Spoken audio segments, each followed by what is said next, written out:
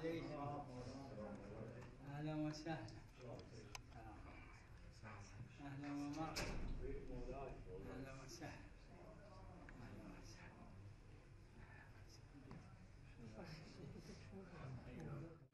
أعوذ بالله من الشيطان الرجيم بسم الله الرحمن الرحيم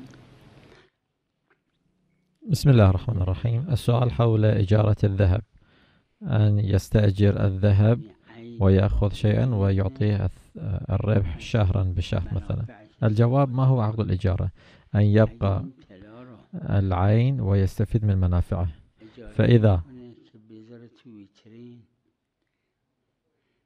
أجار مثلا هذا الذهب ووضعه مثلا في مكان ويرجع هذا العين عين الذهب فلا إشكال فيه. أما ما يصطلح عليه الآن آه، بأن يؤجر إنسان الذهب. أن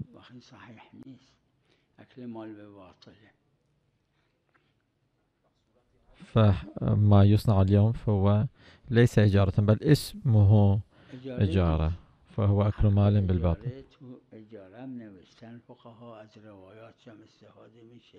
باید عین باقی بمونه. فعقد الإجارة والفقهاء ذكروا في كتب الفقه ويستفاد من كلماته بأنه يجب أن يبقى العين ومن منافعه يستفاد الإنسان. عندما يستأجر يستأجر بيتا بمعنى أنه يستأجر هذا البيت يسكن فيه ويعطيه شيئا فشيئا الإيجار. أو مثلا يأخذ الذهب. الذهب ويضعه مثلا في مكان ويرجعه.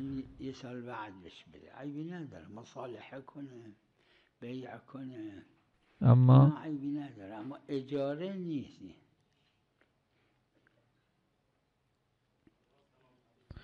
ما هو مرسوم في يومنا هذا من إجارة الذهب ليس حقيقة بمعنى الإجارة. السؤال حول الرهن. أن يؤجر الدار لصاحب الدار. الجواب بأن صاحب المنزل هو مالك المنزل. فلا صاحب المنزل ومالكه هو أن يتصرف في الرهن وبنحو الوثيقة على المنزل.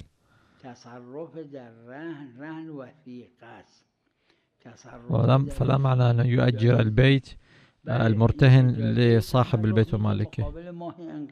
مثلا من يريد أن يؤجر هذا البيت لشخص آخر فيجب أن يكون بإذن صاحب البيت. فالتصرف في هذا البيت ليس صحيحا إلا بالإجازة. بهذا المعنى أن يؤجر هذا البيت الآخر قد ارتهنه. باید اجازه صاحب منزل باشه. اگه صاحب منزل میخواد اجاره بده باید به اجازه اونی بده که در دستشه السؤال حول الإذان والإقامة بالنسبة إلى الصلوات المقضية. الجواب إذا لأنه إذا جمع بين الصلوات كما في العروة فتسقط الأذان ولكن يسقط الأذان ولكن الإقامة لا تسقط. فلا مشروعية للأذان قال جماعة بأنه هذا على نحو الرخصة للعزيمة وأنا نظر أيضا على هذا الشيء بأنه حين الجمع فإنه يكون على نحو الرخصة فالشارع قد أجاز بأنه لا يؤذن ثانية وإذا أذن فإنه لا أشكال فيه لشمول الإطلاقات.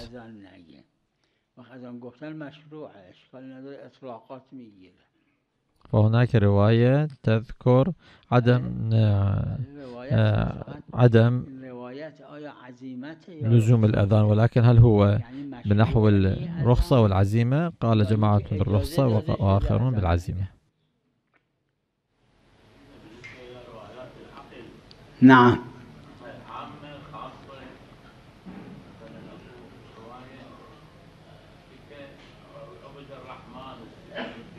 بكاء ثيب وبكاء عاقب. عامة ليش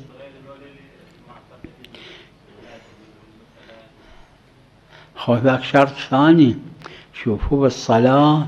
أكو شروط متعددة. من الشروط القربة ومن الشروط الطهارة ومن الشروط ولاية أمير المؤمنين صلوات الله عليه. هذا الشرط غير شرط العقل. هذاك شرط هذا هم شرط شروط متعددة أكو.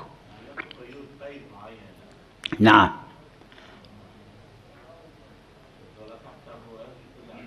نعم بلي الجواب يجب أن تكون الأم راضية.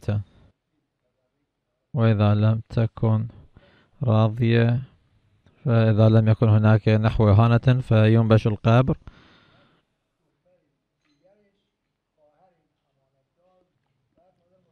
فينبش القبر وإذا كان الزمان قد مر كثيرا ف نعم باید راضی باشه مادر باید راضی باشه اگر راضی نشد وتكون هذه البنت التي لم آه، تؤدي الأمانة عليها أن تؤدي الثمن ثمن الكفن. وتكون ضامنة. اون خواهر که این کارو کرده ضامن قیمت این کفن برای مادر. السؤال في نبش القبر قد نسوا الحنوط. الجواب بله. إذا لم يكن إهانة للميت ينبش ويستخرج وهذا المسألة عرفية. مثلا هناك قبر شخص عالم معروف محترم فلا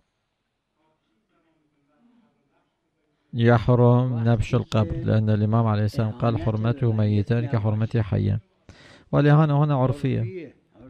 الشارع لم يبين معنى الإهانة. ولكن إذا كان ميت ميت شخص عاديا امرأة عادية رجل عادي. مثلا في اليوم الأول وأمثاله فلا إشكال في النبش. إذا كان هناك ضرورة. وإلا فنبش القلب بالإجماع لا يجوز.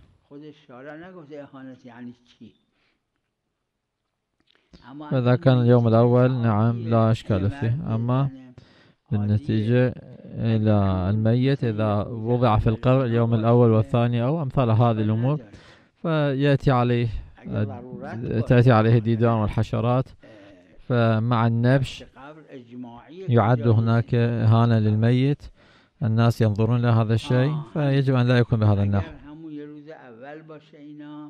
اشکال نداره. اما به نتیجه میت یکی دو روز که گذشت یا کمتر حشرات مار و عقرب و حشرات به جونش میفتن وقت اگه نبش قبل کنن آدما ببینن حشرات به جون این میفتن این اهانت حساب میشه. فإنه هذا بعد مضي عوامل كثيرة فإما أن صار ترابا أو لا يعد إهانة له. بله بله بله هم یا خاک شده باشه بعد 20 سال بیشتر کمتر. یا وقتی باشه که هنوز السؤال في مفهوم السفر هل أخذ الغياب أو لا والعودة؟ الإياب. الجواب انظروا في في السفر. الشارع قد جعل هناك مفهوم خاص. الشارع قال ثمانية فراسخ. بعض الروايات بريد أو بريدان. غياب اليوم. أربعة فراسخ عموديا أو آه، يذهب أربعا ويرجع أربعا يعد ثمانية فراسخ. فإن للشارع في السفر اصطلاح خاص وقد بين معناه أي ثمانية فراسخ؟ فإذا كان ثمانية فراسخ امتداديا فيعد سفرا. وإلا إذا مثلا يذهب أربعة فراسخ ويريد الرجوع لا أن يبقى فأيضا يعد ثمانية فراسخ. وإلا إن كان غير ذلك فلا يعد سفرا. السؤال إذا يختلف السفر العرفي والسفر الشرعي؟ الجواب نعم. يختلف. آه، عرفان إذا ذهب أربعة فراسخ ورجع لا يعد عرفا سفرا. ولكن الشارع قد أخذه بمعنى السفر وجعله أحكام خاصة.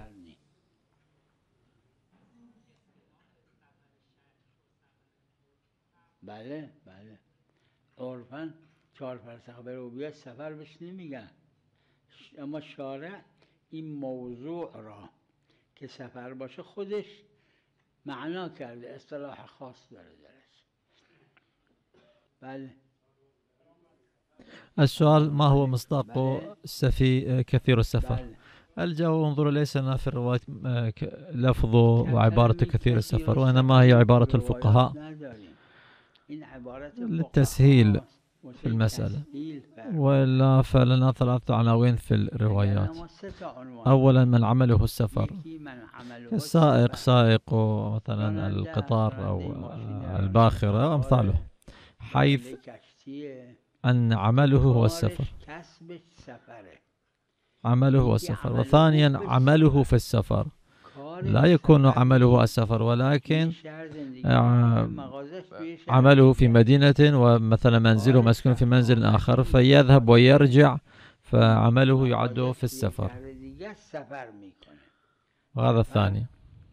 عمله في السفر والعنوان الثالث من لا وطن له. من لا وطن له. كالرعاة وأمثالهم حيث في الصحاري والبراري.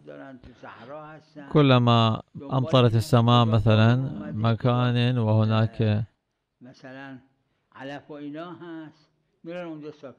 غذاء مثلا للماشي يذهب إلى هناك ربما ثلاثة أشهر أو ستة أشهر أقل أكثر.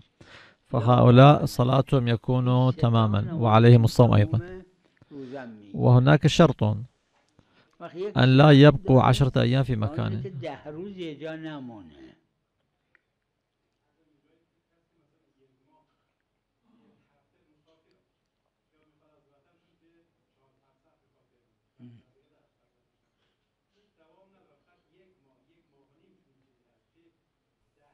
السؤال على أنه مثلا شخص مدة شهر أو شهر ونصف مثلا يذهب كل يوم إلى مكان ويرجع لعمله أو مثل هذه الأمور كالعامل فما حكمه؟ الجواب محل خلافه.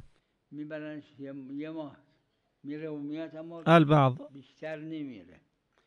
قال بأنه الشهر الواحد لا يكون ملاكا في صدق كثير السفر عليه. مثلا قالوا أنه سنة أو ستة أشهر أو مثلا أكثر من ذلك أمثال هذه الأمور. أنا نظري واستظهاري على أنه إذا كان في شهر واحد يذهب كل يوم ويذهب ويرجع فحكمه حكم كثير السفر.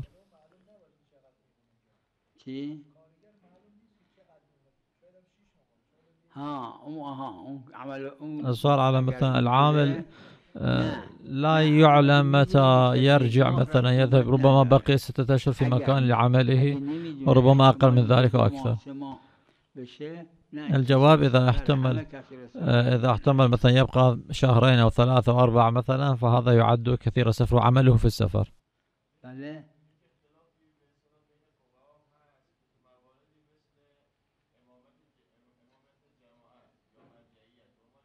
السؤال هناك اختلف بين الفقهاء بين إمامة الجماعة والمرجعية لأنه العدالة شرط أو الفسق يكون مانعا. فإذا كان المشهور على أنه العدالة شرط. فإذا العدالة كانت الملكة النفسانية فالملكة النفسانية ليس لعامة الناس مورد إحراز. فكيف يمكن أن يحرز شخص بأن هذا المرجع أو هذا الإمام مثلا عادل؟ الجواب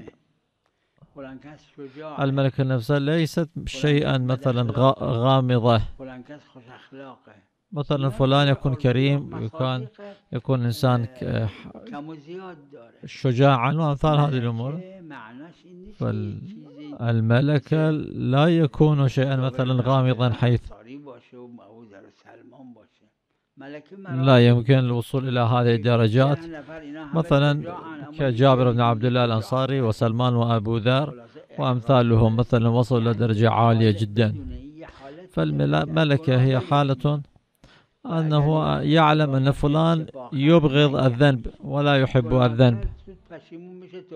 وإذا أذنب فيتوب إلى الله سبحانه وتعالى سريعا.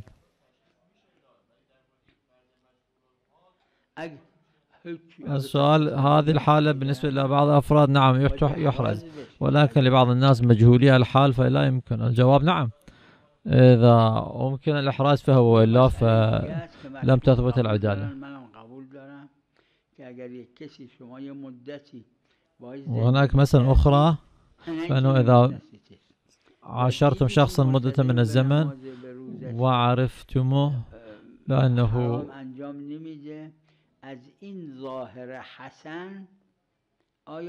لا يأتي بالذنوب لا يترك صلاته. فمن حسن ظاهره أنه ربما يحتمل الإنسان بأنه حسن ظاهره هل يكون ملاكا مع أنه ربما آه ربما لا يأتي بشيء غير حقيقي وواقعي يمثل المجتمع مثلا؟ فهذه مسألة ثانية. الكثير قالوا بأنه حسن الظاهر هنا يكفي في إثبات عدالته.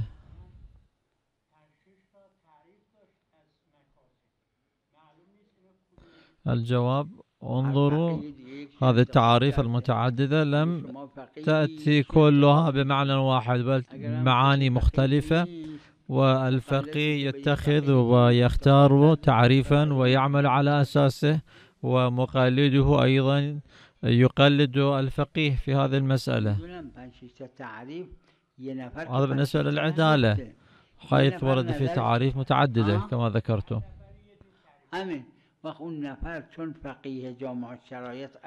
فهذا الغموض وعدم البيان وعدم الوضوح بالنسبة للجاهل أما الفقه والحاكم الشرع مثلا المرجع للتقليد يعرف هذه الأمور. فالجاهل يرجع إلى مرجعه ويقلده.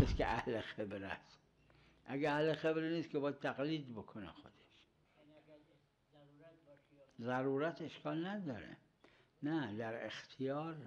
السؤال هل يمكن باليد اليسرى أن يمسح الإنسان على رأسه الجواب؟ البعض قالوا لا إشكال فيه ولكن أنا الآن في حال الاختيار ليس ببالي المسألة في حال الضرورة نعم لا إشكال فيه. بل نعم ربع مقدم رأس. طرف راست و چپ و پشت نمیشه. السؤال أين موضع مسح الرأس؟ الجواب هو الربع المقدم آه، للرأس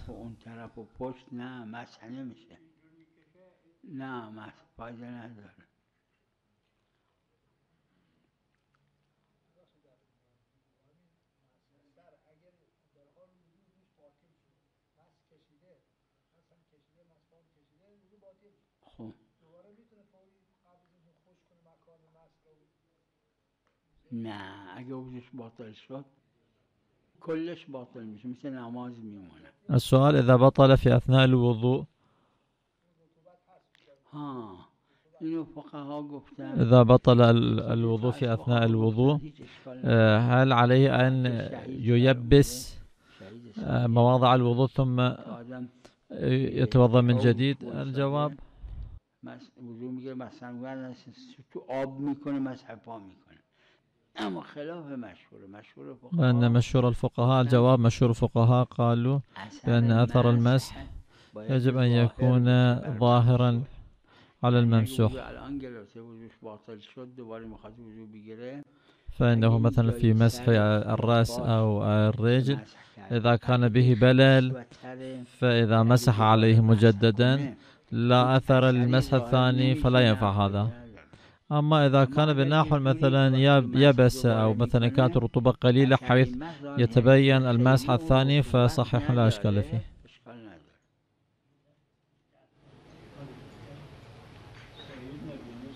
نعم.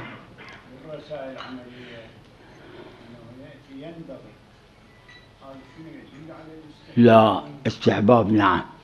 ينبغي ظاهرا بالاستحباب مترادف.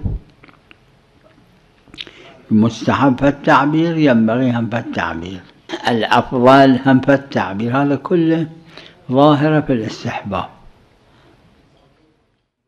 السؤال بالنسبة إلى من يتم عدة من الأفراد إلى إمام مجهول الحال. فهل أتمكن أقتدي به أو لا؟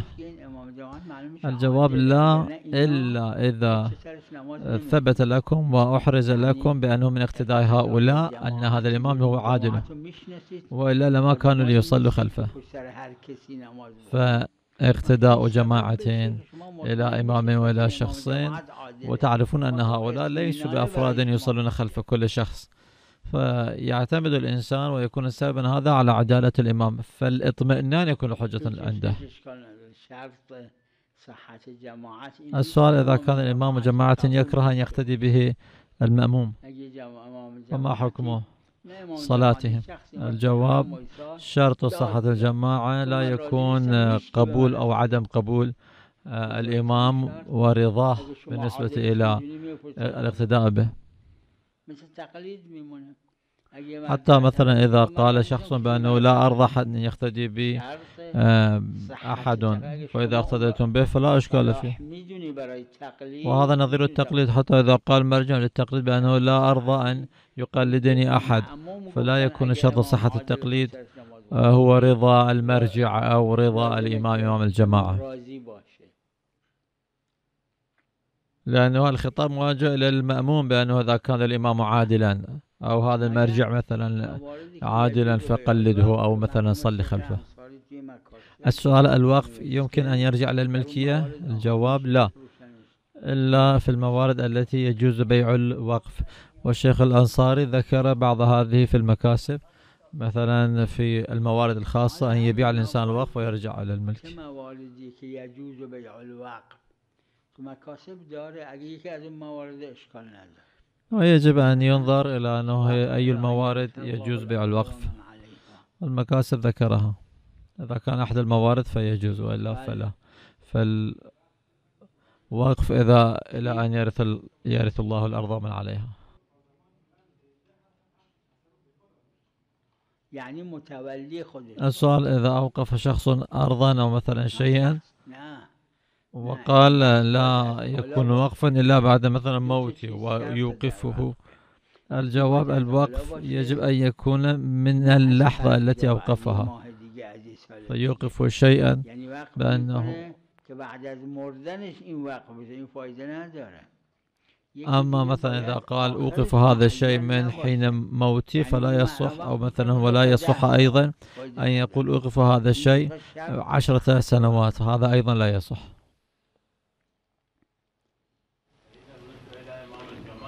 نعم.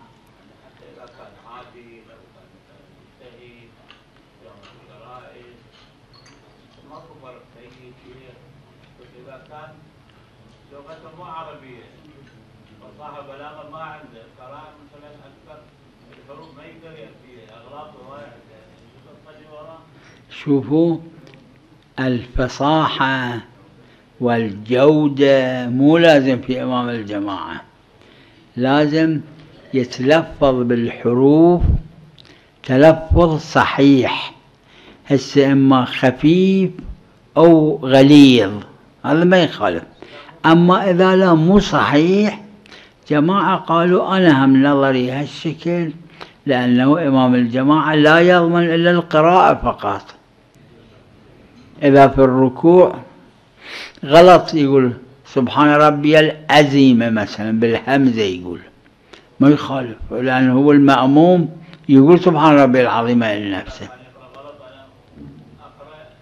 ها إذا الإمام يقرأ غلط جماعة قالوا أنا هم نظري هالشكل أنه إذا المأموم يقرأ هو ما يخالف الجماعة صحيحة.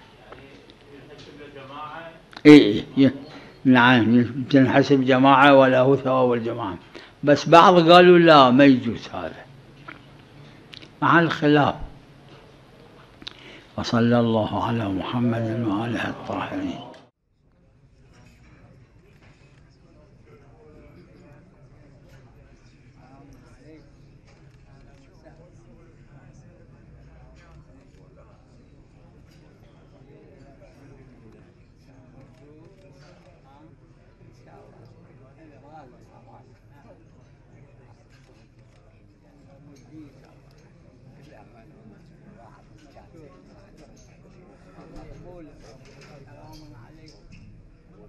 الله يسعدك جايب للعراق أنا شوفتك أهلا وسهلا عليكم. السلام أهلا وسهلا أهلا وسهلا مقبول مغفور سلم على